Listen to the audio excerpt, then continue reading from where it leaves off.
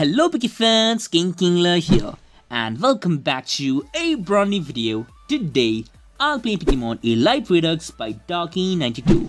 It's a completed Pokemon GB ROM hack and it's inspired from games like Emerald Kaizo and Radical Red where the story is same as Emerald but it tries to offer a new take on Emerald with increased difficulty and challenges. Now, some of the features of this game are Mega Evolution, randomizer mode, fake mons, 27 stars, day night system, Hisuian and Paldean forms, increased difficulty and shiny rate, good graphics, Pokemon from Gen 1 to 9 and much more. So before starting the video, make sure to smash the like and subscribe button and so now, let's play!